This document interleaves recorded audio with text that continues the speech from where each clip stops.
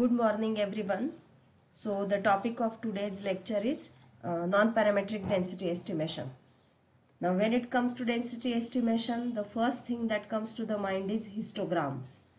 So here now I am referring to the discussion about histograms which we had already done in the last uh, year second semester when we discussed the Swiss bank Swiss no Swiss bank notes uh, data set during the discussion in multivariate analysis course. So I am referring to the same book by Härdle and Simar because therein the discussion is uh, understandable and important as well. So when we discuss uh, density estimation, histograms are the first thing that come to our mind. So they are basically density estimates and they give very good impression of the distribution of a data set. Now in case of box plots, what we understand is the extremities of the data if there are outliers in the data or not if, and box plot also shows us the location of median. So that also gives us some idea about the um, skewness.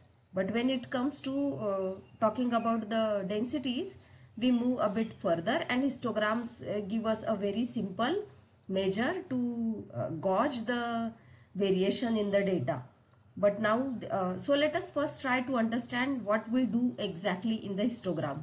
Now i do not think that you would have drawn histograms manually uh, during any of the courses uh, which you which you have learned so far in statistics.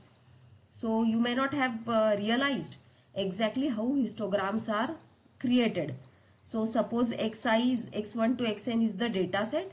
Then usually histogram counts how many observations are there in a particular uh, interval of the data. Say for example, if the data varies from say uh, minus 3 to plus 3, say you are having data from standard normal distribution, then if the data starts from most of the data is going to vary from minus 3 to plus 3, then the a typical histogram of such a data will uh, what it will do is it will count how many observations are there in the interval minus, uh, 3 to say minus 2.5 then minus 2.5 to minus 2 and then accordingly the uh, plot will appear. The height of the bars in the histogram will depend on the on this count. So technically these are called as means. So these consecutive intervals not me means sorry beans. These are called as beans. And so the origin of the data matters a lot in this case. So suppose x naught is the origin of the data. So then suppose bj x naught h denotes the bin of the length h which is the element of a bin grid starting at x naught. So for example if h is the length of the bin then we can say that the entire data is to be divided into different bins each of length h. And the first interval then will start at x naught and the first interval will end at x naught plus h. Then the second interval will start at x naught and the second interval will end at x naught plus 2h and so on. So the jth interval will be a function of x naught and h. So this uh, interval or we are calling it as a bin so this bean uh, is represented by this letter J, uh, sorry B uh, and the suffix is J. So Bj is the jth bin which is a function of x naught and h. And how do we uh, it represent this? So we represent this by a closed interval starting at x naught plus j minus 1 by j1 j minus 1 into h and ending at x naught plus jh. So now uh, to create the histogram we need count of uh, the observations uh, belonging to this bin and then uh, it also depends the estimate also depends not only on how many observations are there in that particular bin but out of uh, the total number of observations how many are there. So for example uh, n inverse so herein we the clear formula is given. So that as per the histogram, the estimate of the density at point x will be depending on where x is. So that means in which bin x belongs.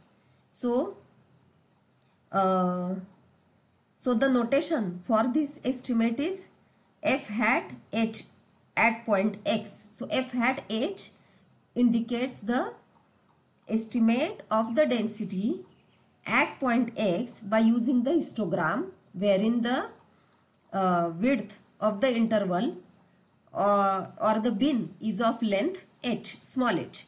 So now let us see how do we compute this. So uh, as you can see this is n inverse h inverse means 1 by n where n small n is the number of observations on whose basis the histogram is to be founded or calculated and uh, 1 upon h is the length of the bin. So then uh, now uh, so the first summation is over the letter j where j belongs to script z where this will simply mean the number of bins. How many bins do we have so that this entire data will be covered. So these many bins will appear here. So and then the second summation summation is over the letter uh, i going from 1 to n that is nothing but the so that all the observations will be taken into account. Now herein there are two indicator functions. The first indicator function is the indicator function whether the observation belongs to the jth uh, bin or not. So this indicator function will go through all the bins and will look at exactly that bin wherein this this x is.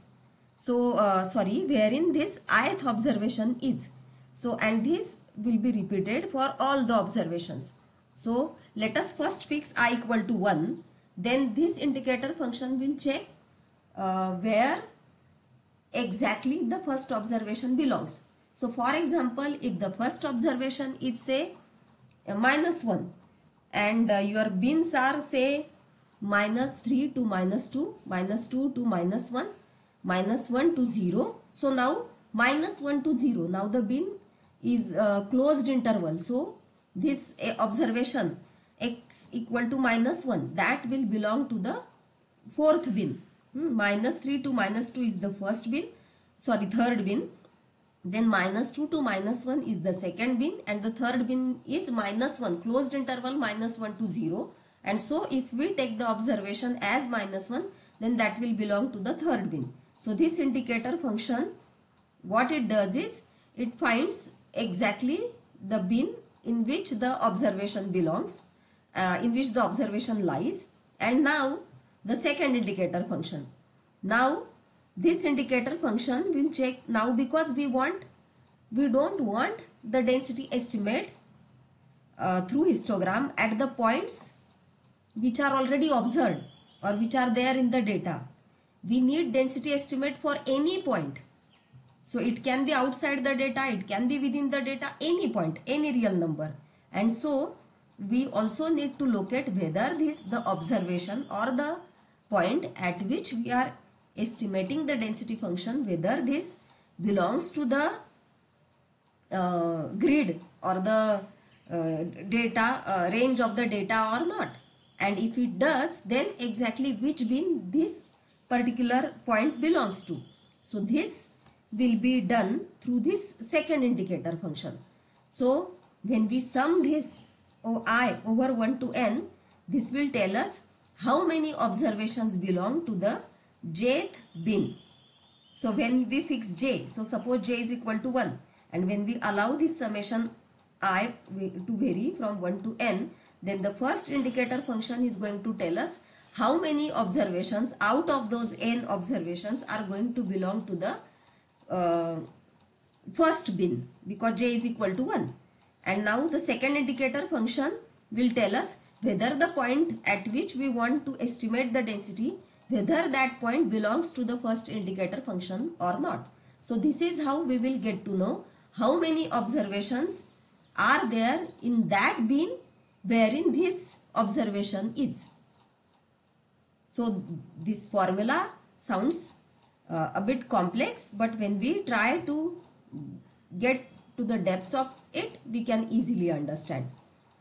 So now let us see how it can be done uh, in R.